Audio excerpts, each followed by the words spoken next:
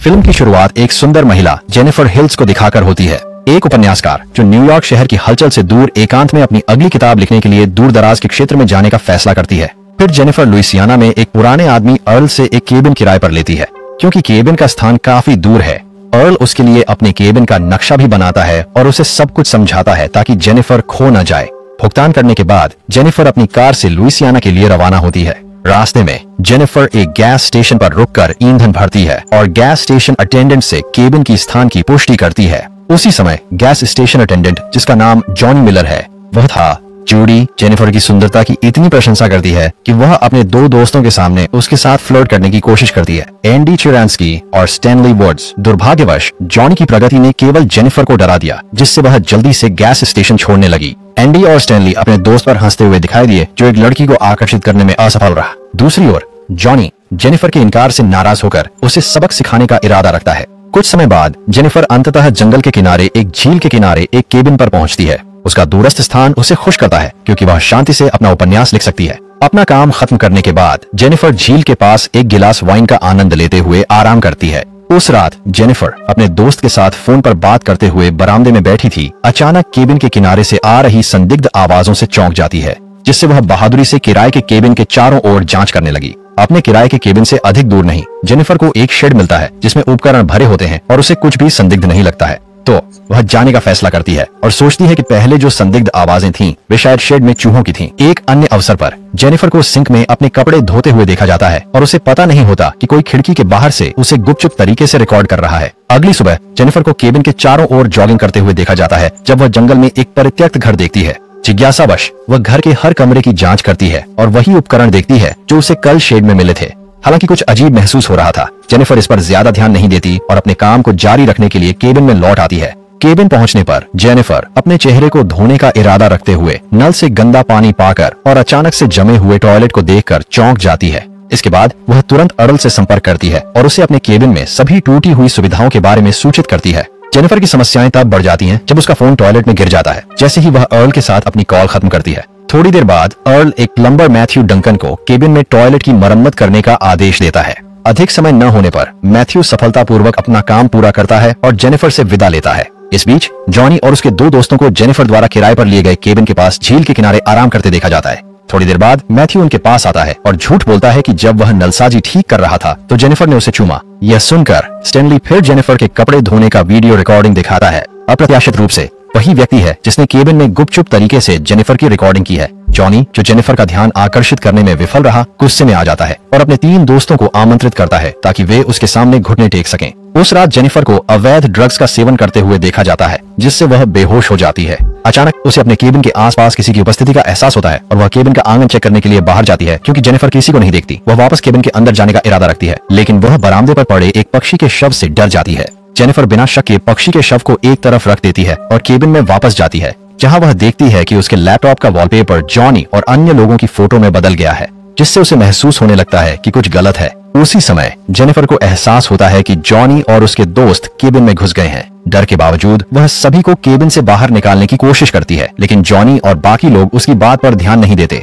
Johnny यहाँ तक कि उस पर हमला करने लगता है, और जैसे ही वे उसे परेशान करने वाले होते हैं, जेनिफर केबिन से बाहर भागकर जंगल में चली जाती है। सौभाग्य से जेनिफर को अर्ल मिलता है, जो अपने दोस्त शेरिफ स्टॉच के साथ शिकार कर रहा है। इसलिए वह अपने हाल के अनुभवों की रिपोर्ट दोनों को करती है।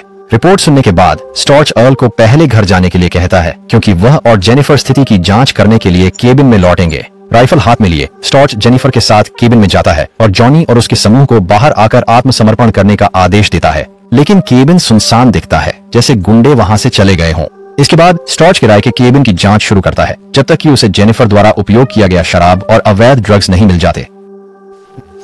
जो जॉनी और दूसरों का पता न लगाने की स्थिति में मानती है कि उसने झूठ बोला है। यह सुनकर जेनिफर समझाने की कोशिश करती है कि गुंडों ने उसके साथ क्या किया। उसी समय जॉनी और उसके दोस्त केबिन में प्रवेश करते हैं, लेकिन अजीब तरह से।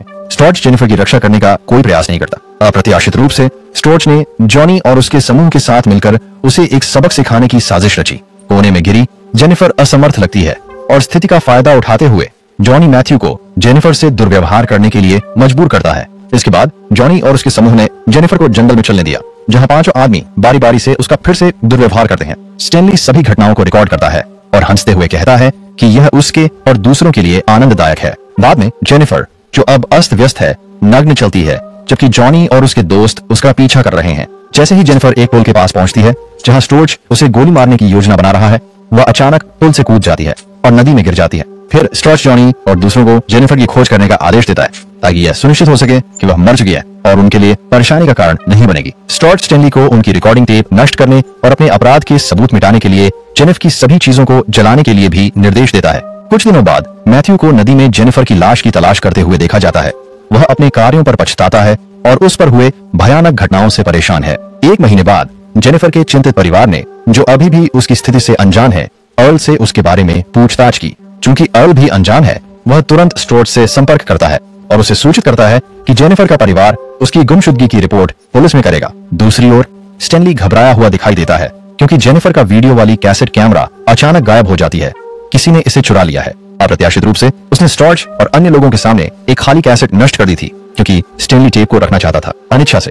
वह जॉनी और अन्य लोगों को लापता रिकॉर्डिंग के बारे में जानकारी देता है, जिससे जॉनी इतना क्रोधित हो जाता है कि वह स्टेनली को मारना चाहता है। सौभाग्य से एंडी को जॉनी को शांत करने और उन्हें समाधान खोजने के लिए प्रेरित करने का काम मिला। उस रात जॉनी अपने घर के दरवाजे के सामने फेंके गए एक मृत पक्षी से चौंक गया और वह उस पल को याद करता है जब उसने जेनिफर के किराए के केबिन में वही काम किया था। जॉनी के घर लौटने से ठीक पहले, उसके आँगन में झाड़ियों ने अचानक सरसराहट की, जिससे उसकी जाँच की उत्सुकता बढ़ गई। वहाँ उसे कोई नहीं मिलता।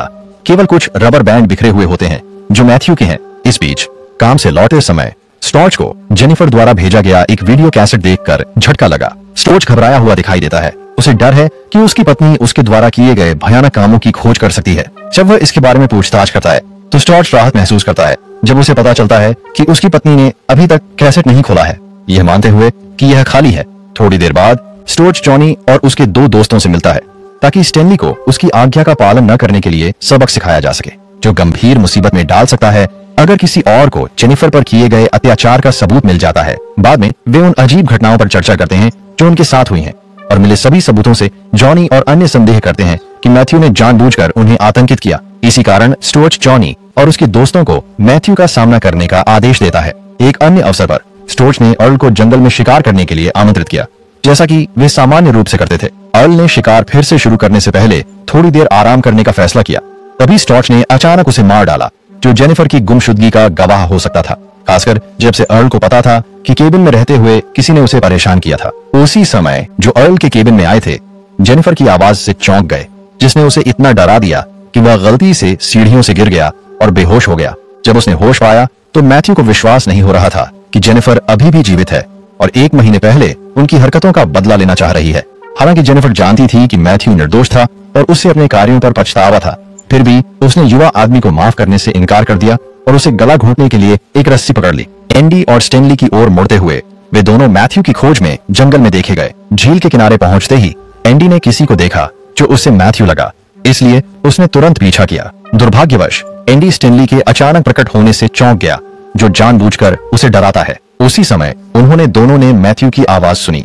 जो जंगल के बीच खाली घर से आ रही थी, जैसे ही स्टेनली जाँच करने वाला था, उसकी टांग जेनिफर द्वारा पहले से लगाए गए भालू के जाल में फंस गई। अपने दोस्त की चीख सुनकर, एंडी स्टेनली को बचाने के लिए दौड़ा, लेकिन जेनिफर उसके पीछे से मारने के लिए एक छड़ी के साथ तैयार थी। थोड़ी देर बाद, एंडी होश में आया और उसने खुद को पानी से भरे बाथटब के ऊपर बंधा हुआ पाया। इस बीच, स्टेनली एक टूटी हुई टांग के साथ दर्द में दिखाई दिया और जेनिफर के खिलाफ कुछ भी करने में असमर्थ था, जो जानबूझकर उसे अपने सहयोगी के रूप में रिकॉर्ड कर रही थी।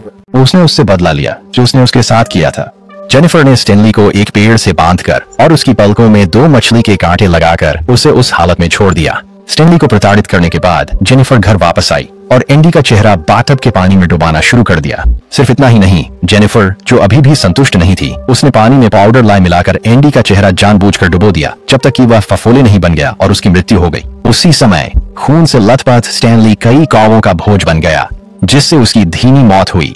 गैस स्टेशन पर स्विच करते हुए जहाँ जॉनी काम करता था, हमेशा की तरह उसने एक गैस स्टेशन परिचारक के रूप में अपनी ड्यूटी निभाई, जब तक कि जेनिफर अचानक आई और उसे बेहोश कर दिया। थोड़ी देर बाद, जॉनी एक सुनसान कमरे में जाग गया, बंधा हुआ और उसके मुँह में जंग लगी लोहे की छड़ थी। उसी क्षण, जेनिफर ने उसके खिलाफ प्रतिशोध में उसके एक एक करके दांत निकाल दिए और उसे तब तक यातना दी जब तक वह मर नहीं गया। दो घंटे बाद, गश्त पर निकले स्टोर्ज को जेनिफर का फ़ोन आया, जिसमें उसने दावा किया कि वह उसकी बेटी चेस्टिटी के साथ है।